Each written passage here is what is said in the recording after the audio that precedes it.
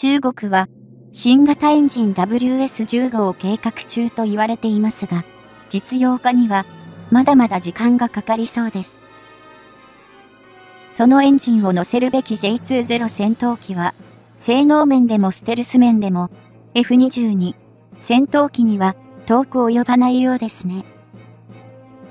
今回は、この GA20 ステルス戦闘機について見ていきたいと思います。形を見ると F22 戦闘機の前後をひっくり返したように感じる。のですが、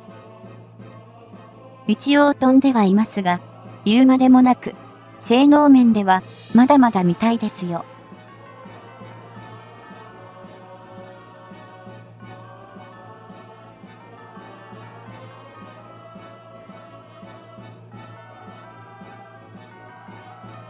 超高性能戦闘機 GA20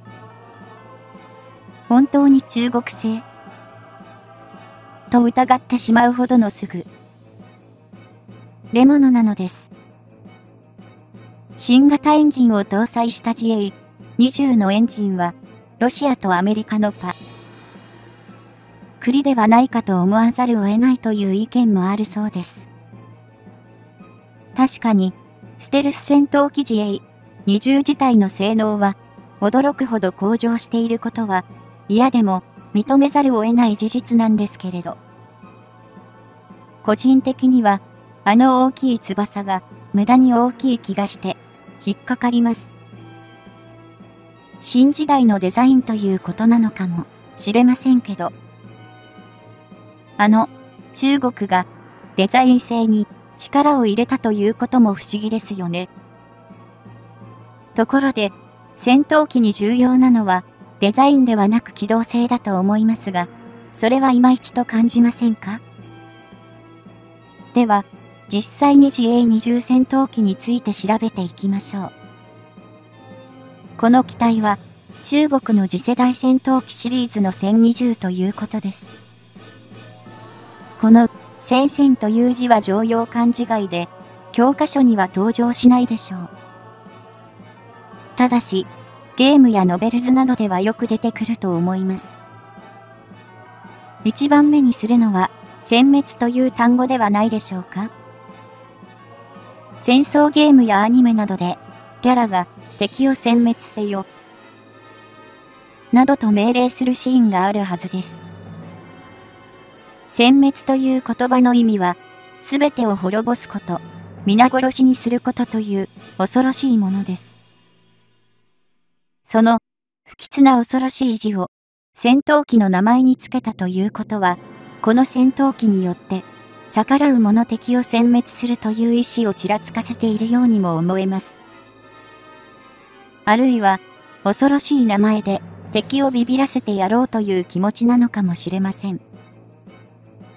中国の厳しい情報統制のせいでしょうか。地、A20 戦闘機の性能は初。フライトの段階では、全くと言ってよいほどわかりません。ただ、欧米の軍事専門家に言わせると、エンジンが弱点になる可能性があるのでは、ということです。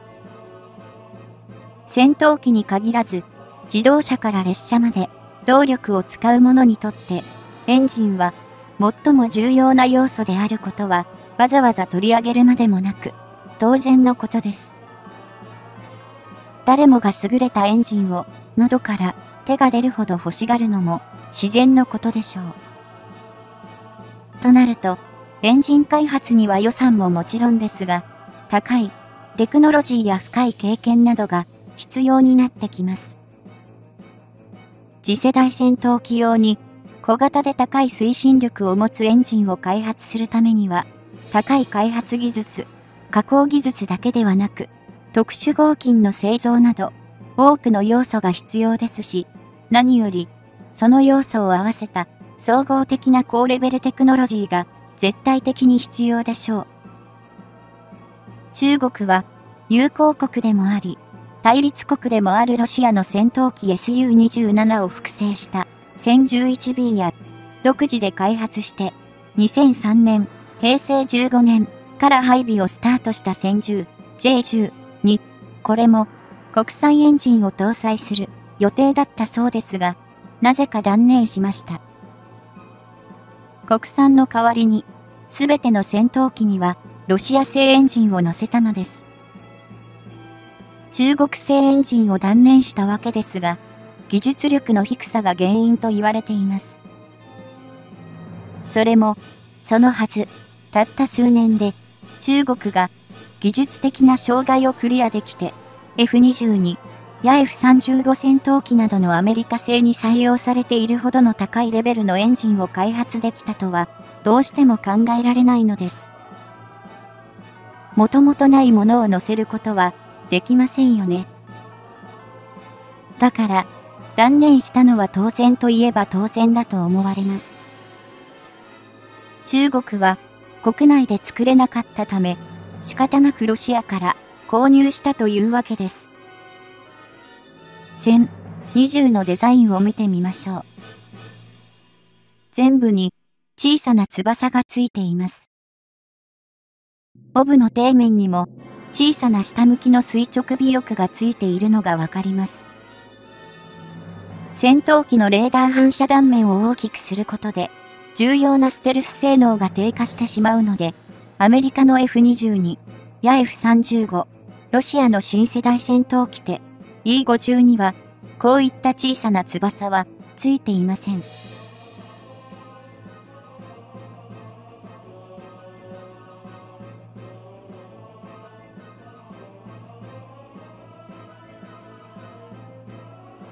機体の構造を見ると、1020は、ステルス性能を少し犠牲にしなければ、他国の戦闘機を相手にできる高機動でフライトできないことを暗示しているようにも感じられます。そういった点でも、エンジン能力が不足していると見受けられます。といった歌詞は考えられますが、1020は決してこけ脅しではありません。機体全体の形を見ると、ステルス性を十分考えていることは確かです。従来型の戦闘機と比べると、滑らかに処理されたレーダー反射断面が小さいですし、ウェポンウェイにミサイルや爆弾を積載することなども考え合わせると、戦に、ニューハレーダーでは、かなり補足が難しい航空機であるということが推定されるからです。機体の大きさから見ても、1020は純粋な正空用の戦闘機ではなく、対地、対艦攻撃を主要任務とする戦闘攻撃機という可能性もあります。F22 や F35 レベルの能力がないとしても、中国がある程度のステルス性能を持つ航空攻撃力を手にしたとなれば、アメリカは言うまでもなく日本や台湾などの近隣諸国にとっては、非常に大きな脅威になるということは、疑いのないシビアな事実です。話題を変えて、1020をどのように報道しているか、紹介しましょう。ここに、1020とされる写真があります。撮影されたのは、四川省のショートである生徒です。生徒といえば、パンダの生息地でも世界的に有名ですが、日本人にとっては、三国志の食の都と言った方が有名でしょう。何でも、日本での三国志熱は、本家の中国人が驚くほど高いそうです。石壁の戦いを中心にした映画、レッドクリフも大ヒットしましたよね。この写真は、生徒での初フライトを写したものということです。この初フライトが行われたのは、生徒にある中国航空工業集団講師の関連施設ですが、目撃した人が国際問題専門誌環球時報に送ってきたということになっています。この環球時報という新聞は、中国共産党の機関紙人民日報が発行しているので、政府のお墨付きで公開されたということでしょうね。周囲の人間との比較で明白ですが、かなり大きな戦闘機ですね。中国は1980年代、昭和55年からからステルス戦闘機の研究を進めているらしいのですが、今回の1020が量産を前提にしたプロトタイプなのか、はたまた技術実証が目的で実戦機ではなく実験機なのかも、今の段階では不明です。中国が自国の防衛に関わることを公表するはずはありませんけれどね。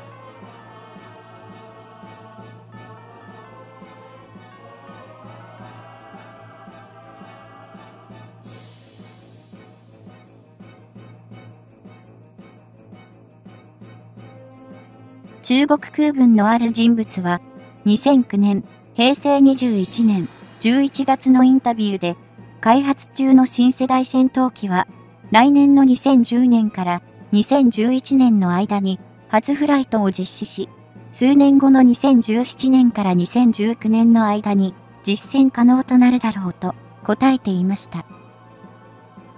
アメリカのゲーツ国防長官は F20 生産を中止するときに中国。は2020年頃まで、新世代戦闘機の配備は不可能だろうと公言していましたが、性能は二の次として、1020の初フライトは中国が計画した通りに実現しました。ということは、アメリカの予想より早く、中国の技術力が進んでいるという証明だと考えられるのです。